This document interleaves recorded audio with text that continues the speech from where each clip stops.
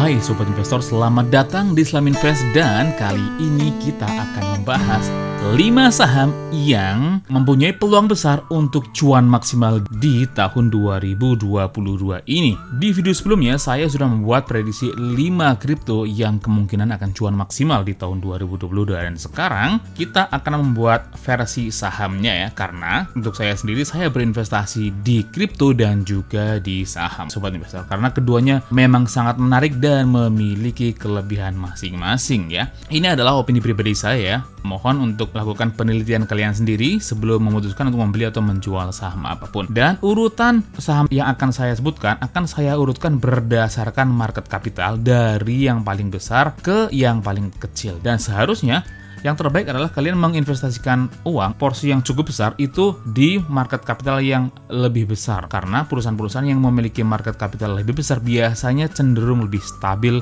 untuk volatilitasnya. Dan kita juga akan lebih tenang dalam menginvestasi saham kita. Sedangkan yang sebagian kecil dari modal kita kita investasikan di perusahaan-perusahaan yang memiliki market capital lebih kecil karena volatilitasnya bisa sangat tinggi ya naik tinggi turun. Bisa sampai dalam sekali tapi juga memiliki peluang cuan yang jauh lebih maksimal daripada perusahaan yang memiliki market capital lebih besar. Oke, langsung saja ke urutan pertama perusahaan yang memiliki peluang untuk cuan maksimal di tahun 2022 adalah Microsoft. Ya, ini adalah perusahaan yang pasti udah kita kenal semua ya. Oh, by the way, jika kalian belum tahu, untuk membeli saham luar negeri ya, bisa melalui eToro, GoTrade, atau melalui Nanoface ya. Meskipun untuk yang terakhir ini, Nanoface ini masih banyak bug dan masih banyak yang perlu diperbaiki, tapi saya lihat mereka juga terus memperbaiki bug-bug tersebut dan saya harap Nanoface semakin baik lagi karena itu adalah revolusi yang sangat luar biasa ya di dunia investasi di Indonesia ya, di mana orang Indonesia bisa langsung membeli saham luar negeri dengan perusahaan yang terdaftar di Indonesia. Oke, lanjut ya.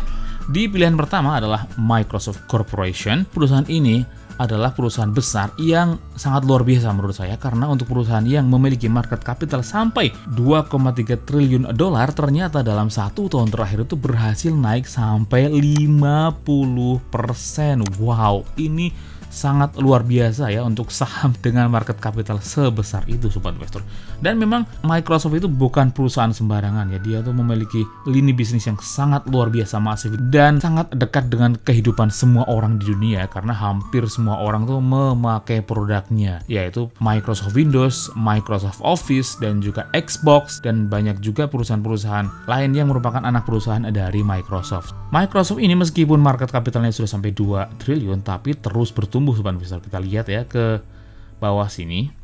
Kita lihat dalam beberapa kuartal terakhir itu terus membukukan peningkatan pendapatan. Bulan Desember tahun 2020 itu kenaikan pendapatannya mencapai 16%, di bulan Maret itu kenaikannya mencapai 19%, di bulan Juni sampai 21%, dan di bulan September itu mencapai 21%. Itu luar biasa ya kenaikannya sampai 20 persenan setiap kuartal padahal ukuran perusahaannya udah sampai 2 triliun dolar. Dan yang lebih hebat lagi dari Microsoft itu adalah net profit marginnya yang di angka 21%. Artinya Microsoft itu adalah perusahaan yang sangat-sangat menguntungkan. Jadi perusahaan ini cukup aman untuk kita investasikan jangka panjang Sobat Investor. Dan lagi pula, apakah kalian bisa membayangkan Microsoft itu bangkrut?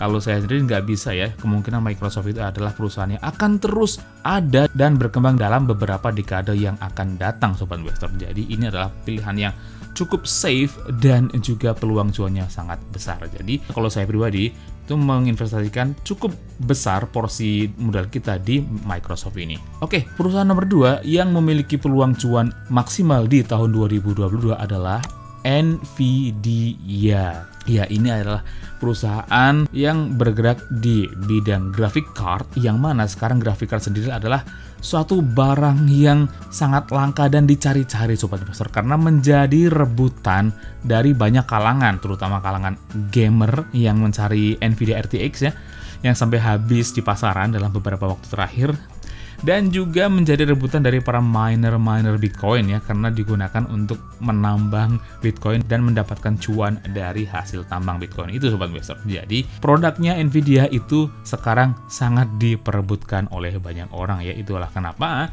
saya menempatkan Nvidia itu di peringkat kedua karena cukup besar peluang untuk cuan maksimal di tahun 2022 sobat investor. Dan kita lihat ya, di satu tahun terakhir itu kenaikan harga sahamnya juga sangat luar biasa mencapai 123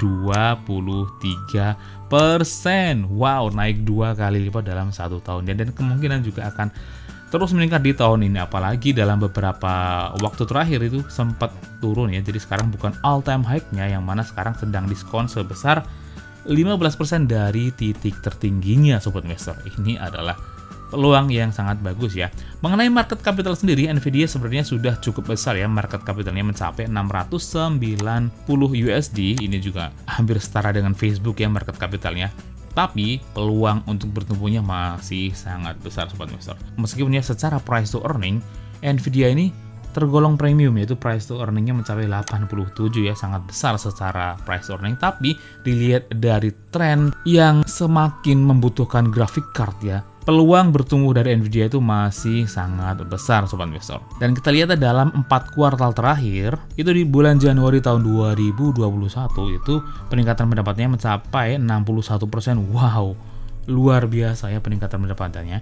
Di bulan Mei itu mencapai 83%, di bulan Agustus 2021 itu mencapai 68%, dan di bulan Oktober tahun 2021 atau kuartal yang paling terbaru mencapai 50% ya kenaikan pendapatannya dan itu adalah data yang luar biasa menurut saya. Dan dari peningkatan pendapatan yang sebesar 50% ini ternyata net profit marginnya juga sangat tinggi mencapai 22% ya. Sama seperti Microsoft, Nvidia ini adalah perusahaan yang sangat-sangat menguntungkan ya baik secara penjualan maupun laba itu sama-sama bagusnya. Jadi kembali Nvidia ini adalah pilihan yang cukup aman jika kita ingin berinvestasi jangka panjang sobat investor.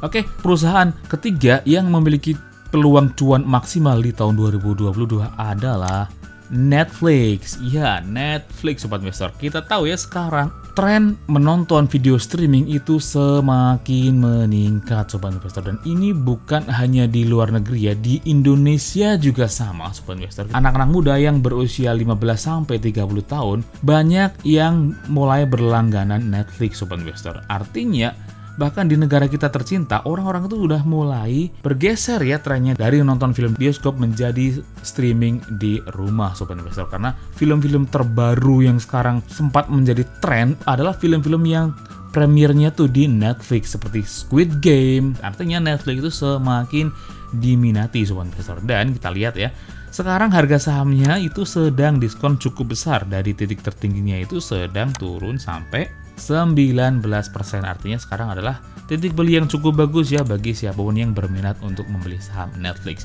By the way, dalam satu tahun terakhir itu sebenarnya udah naik cukup tinggi ya dari titik awal tahun sampai ke titik tertingginya mencapai 35% tapi sekarang sedang koreksi. Artinya sekarang adalah waktu yang cukup bagus untuk membeli saham Netflix Sobat Investor.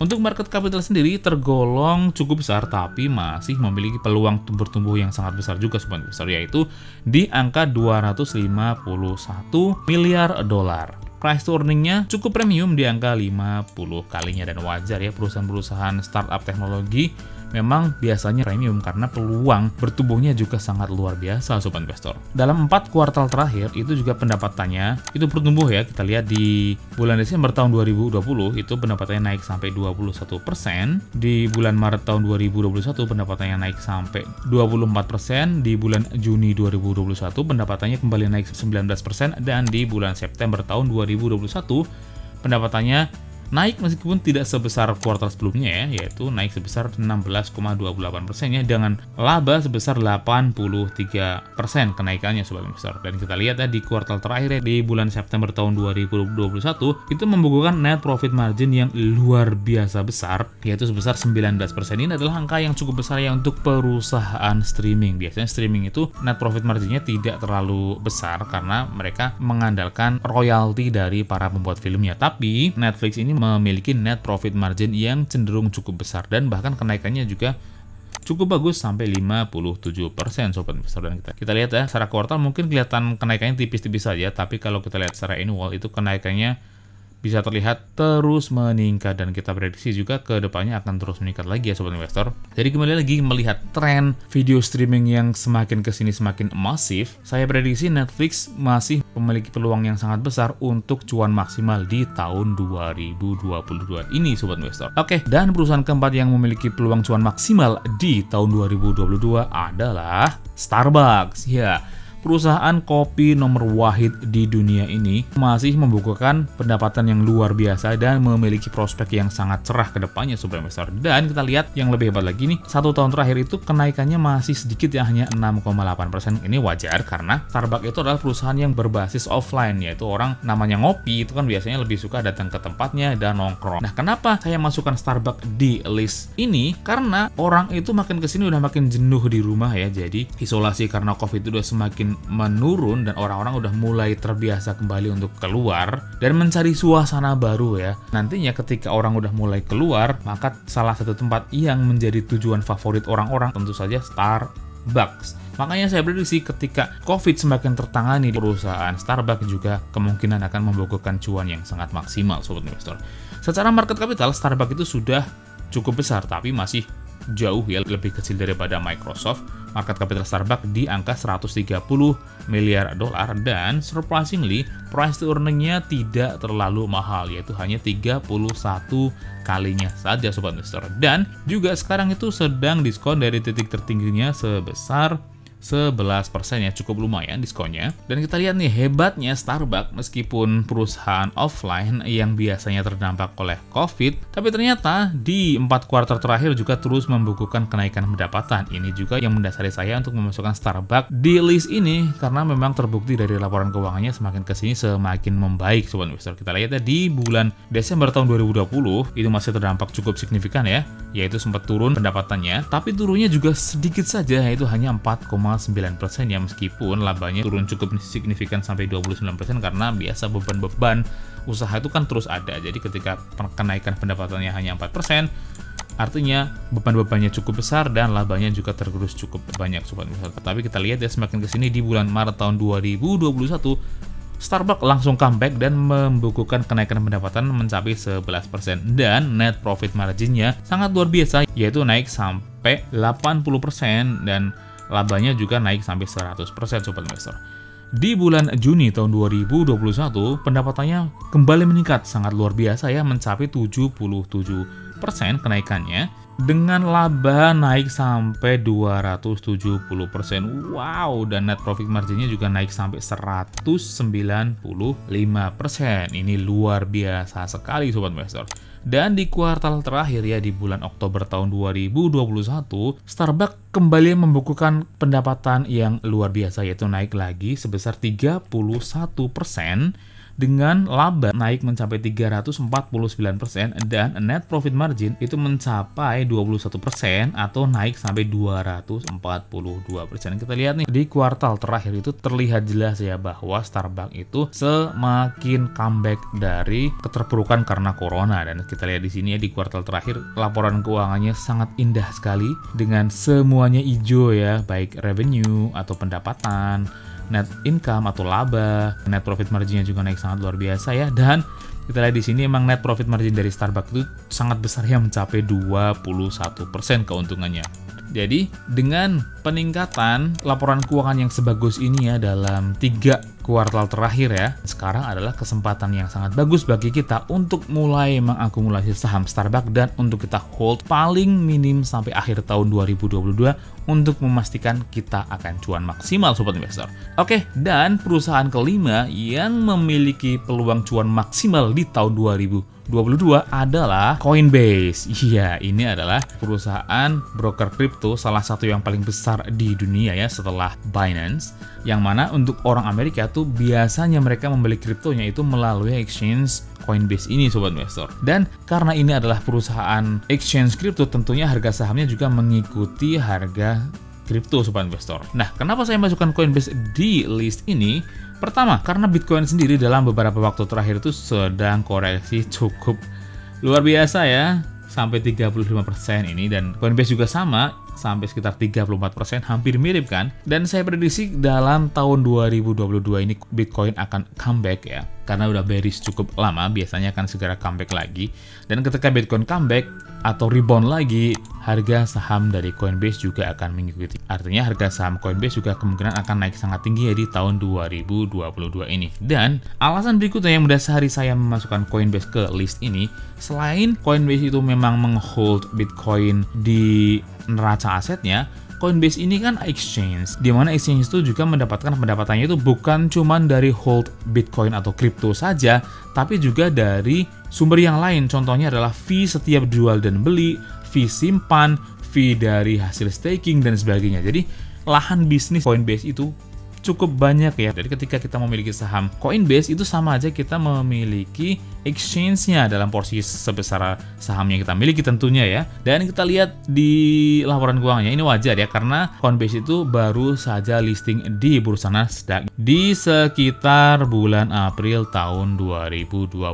Artinya belum sampai satu tahun ya listingnya yang mana kalau perusahaan masih baru itu laporan keuangannya juga masih belum lengkap ya kita lihat untuk secara annual baru aja 2 tahun saja itu pun kenaikannya cukup bagus ya kelihatannya nah kita lihat di sini karena laporan keuangan Coinbase itu mengikuti Bitcoin itu wajar saja ketika di bulan September itu atau kuartal terakhir itu pendapatannya turun ya karena memang harga Bitcoin juga turun sobat investor nah Ketika saya memprediksi bahwa harga Bitcoin akan comeback di tahun 2022 ini tentunya saya juga memprediksi bahwa harga saham Coinbase akan ikut naik ya. Cuan maksimal juga di tahun 2022. Plus juga kita akan mendapatkan tambahan dari fee exchange-nya sobat investor. Nah, kita lihat ya meskipun ini turun yang luar biasa ini Sobat Investor meskipun di kuartal terakhir itu turun ya dari bulan Juni tahun 2021 ternyata sebenarnya itu naik ya kalau dibandingkan dengan bulan September tahun 2020 Nah kita cek saja ya di 4 kuartal terakhir. Ini masih kosong ya karena listingnya baru tanggal 15 April tahun 2021 ya. Masih baru jadi belum bisa kita pakai di laporan keuangan bulan September tahun 2020 kita langsung saja jadi laporan kuartal kedua ya di laporan kuartal bulan Maret tahun 2021 itu ternyata revenue itu naik sangat signifikan mencapai 853% kalau dibandingkan dengan laporan keuangan bulan Maret tahun 2020. Ini luar biasa sekali kenaikannya. Dan di bulan Juni itu juga kenaikan pendapatannya sangat-sangat luar biasa naik sampai 1000 persen. Wow, ini gede sekali ya kenaikan pendapatan di bulan Juni tahun 2021. Dan yang lebih hebat lagi itu adalah net profit marginnya itu mencapai 72%. Ini perusahaan yang sangat-sangat menguntungkan sobat investor. Dan di kuartal terakhir dari di bulan September tahun 2021, meskipun turun sedikit dari kuartal sebelumnya, ternyata masih cukup profitable yaitu naik sampai 316% ya jika dibandingkan dengan bulan September tahun 2020. Artinya masih naik tiga kali lipat. Wow, luar biasa sekali kan? Dengan net income-nya naik sampai 399% dan net profit margin itu mencapai 20% kenaikannya. Dengan net profit margin itu di kuartal terakhir sebesar 30%.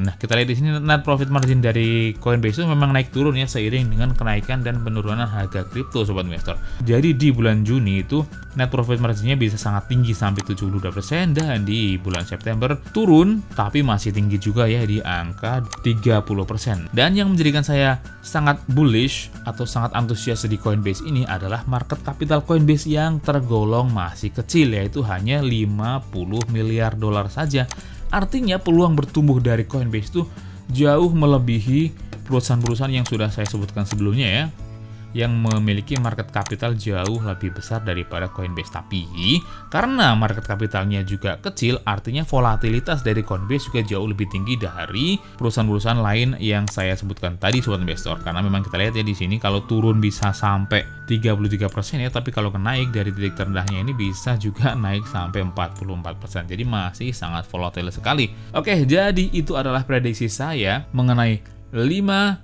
perusahaan yang kemungkinan cuan maksimal di tahun 2022. Apakah kalian memiliki rekomendasi perusahaan lain yang kemungkinan akan cuan di tahun ini? Silahkan tuliskan di kolom komentar ya. Klik like dan share jika kalian menyukai video ini atau dislike saja jika kalian tidak menyukai video ini. Dan jika kalian memiliki request saham apa yang ingin dibahas selanjutnya, tuliskan juga di kolom komentar. Dan bagi yang belum subscribe, silahkan klik tombol subscribe-nya, nyalakan lonceng notifikasinya agar terus mendapatkan update terbaru dari Islam Invest. Kembali saya ingatkan bahwa semua yang ada di video ini adalah opini pribadi saya. Mohon untuk tetap melakukan penelitian kalian sendiri sebelum memutuskan untuk membeli atau menjual saham apa pun. Oke, cukup sekian video kita kali ini. Sampai jumpa di video selanjutnya. Terus berinvestasi karena investasi adalah hobi.